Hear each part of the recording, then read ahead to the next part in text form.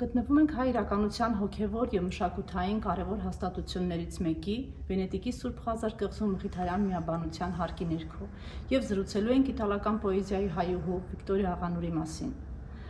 Մեր զրույցը սկսում ենք Մխիթարյան միաբանությունում, քանի որ հենց այստեղ հայր Արսեն Ղազիկյանի ջանքերով իրականացվել է Վիկտորիա Աղանուրի պոեզիայի թարգմանությունը։ Ինչու ընթերցել Աղանուր։ Այս հարցին հնարավոր չէ տալ մեկ պատասխան։ Այն պետք է դիտարկել առնվազն երկու տեսանկյունից։ Ընթերցել, որովհետև մեր ազգակիցն է, թե ընթերցել, քանի որ տաղանդավոր է։ Աղանուրի հայկական ինքնությունը մշտապես պատված է եղել շղարշով, տեղի տալով բազմաթիվ քյուրիմացությունների։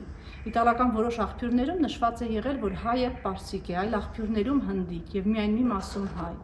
Մխիթարյան միաբան հայր Արսեն Ղազիկյանն այս հարցում մեղադրում է հենց Վիկտորիային, որն իր հանրային ելույթներում միշտ անդրադարձել է իր արևելյան ցակման մասին, ի նկատի ունենալով բնականաբար հայկական ցակումը։ Բայց ինչպես իրավացիորեն գրում է հայր Արսեն Ղազիկյանը, արևելքում միայն հայերը չեն բնակվում։ Մինչդեռ Վիկտորիա Աղանուրը դուստրն էր հայազգի Էդվարդ Աղանուրյանի, որի նախնիները 1605 թվականին Շահ Աբասի օրոք Ջուղայից մեկնել էին Մադրաս եւ միայն 1800-ականների սկզբին Մխիթարյանների խորհրդով տեղափոխվել Ֆրանսիա, ապա Իտալիա։ Հարկ է նշել, որ Վիկտորիայի հայրը Էդվարդ Աղանորյանը զավակն էր այն տոհմի, որը եղել էր Մեկենասը, հայր մշակույթի կարևոր սյուներ հանդիսացող Փարիզի Սամուելյան եւ Վենետիկի Մուրատ Ռաֆայելյան վարժարանների։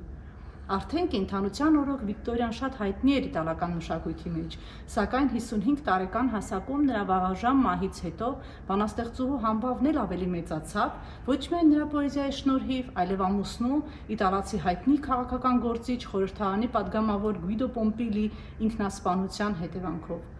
Ողբերգական վաղճան ունեցած ռոմանտիկ սիրո պատմությանն արձագանքեց ողջ իտալական մամուլը։ Վիկտորիա Աղանուրի պոեզիան մեծապես գնահատվել է իտալական հանրության կողմից, սակայն նրա հայկական ինքնությունը քիչ է ուսումնասիրված։ Ուրեմն հասունացել է պահը լուսաբանելու Վիկտորիա Աղանուրի հայկական ինքնությունը, ինչպես նաև հայ ընթերցողին ներկայացնելու նրա անտիպ նամականին Մխիթարյան վարդապետներ Ալիշանի, Սավերդենցի, Ղազիկյանի հետ, ինչպես նաև հայ մտավորականների հետ, այդ թվում Աշակ Չոպանյանի հետ եւ վաղուց արդեն հասունացել է պահը հայր Արսեն Ղազիկյանի թարգմանության միջոցով հաղորդակից լինելու Վիկտորիա Աղանորի քնարերգության հետ։